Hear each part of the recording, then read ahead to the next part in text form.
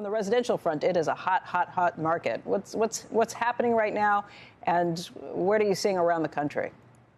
Thanks, Becky. You know, I think as you said, it's a it's a hot market both on the for sale housing side and the rental housing side. And you know, part of this has been there's been two decades of undersupply, right? If you look at the statistics, we've undersupplied probably you know by over 600,000 units. It would probably uh, developers would have to increase inventory per year by 60% just to catch up on housing. So we have went into this with a supply crisis, and now as the market has rebounded, that's only made things worse. So we've seen a, you know big pushes in prices on the for sale side. On the rental side, you know, like the general economy, when things got bad, people pulled back. Uh, rents came down in New York City, as an example. We saw occupancy go down to 80 percent, uh, but now they're surging back, and uh, you know occupancies are back up to 98 percent. In the last year, you've seen rents in New York City increase 35 percent. Uh, and that's similar in places in, around the country, in the Sun Belt in particular, places like Phoenix or Tampa or Raleigh. You've seen, again, rents in, in those levels. So you've had a big surge in rent, and some of that is, you know, driven by this big, you know, economic V-shaped recovery. But a lot of it's also the fact that there's been a, a, a lack of supply, and we're behind the curve on providing the affordable housing that we need uh, around the country. So, if mortgage rates start to go up, is that going to have much impact at all on the frenzy and the bidding wars that are out there, or is that just something that can't be fixed because of the inventory problems?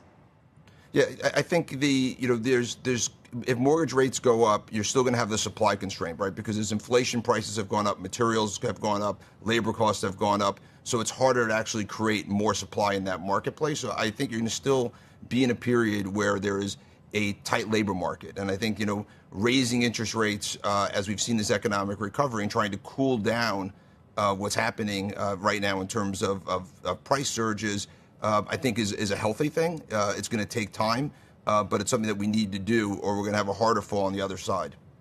What about the commercial market right now? Um, that was hit pretty hard by the pandemic. Has that bounced back the same? Because when we look at um, occupancy rates or the level of white collar workers coming back to some of the major cities, it's still incredibly low. Yeah, Becky, two years ago today, I left this office and closed it down. Um, you know, as we all were facing the uh, pandemic, we came back in, in June. Our occupancy in our 25 million square feet of space uh, went down as low as four percent, began to wow. climb as high as 10 percent. Um, we're now every week hitting a new level of high. We're now in the mid 30 percent and talking to our clients, I think you know by uh, this summer we'll be at the 80% level uh, of occupancy. I think people are bringing back uh, their teams. They they realize how important it is for that personal interaction.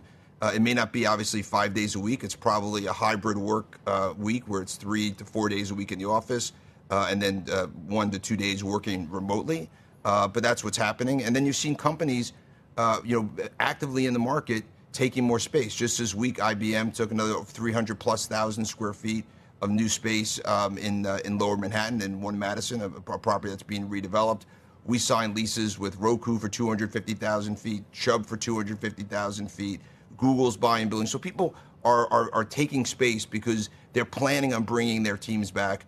Uh, it's going to be a different work environment than there was pre-pandemic, but they realize it's critical to have those social interactions to uh, continue to have the, the culture building, the productivity. You know, you can work uh, at home and play defense. You can't play offense. And companies now need to play offense.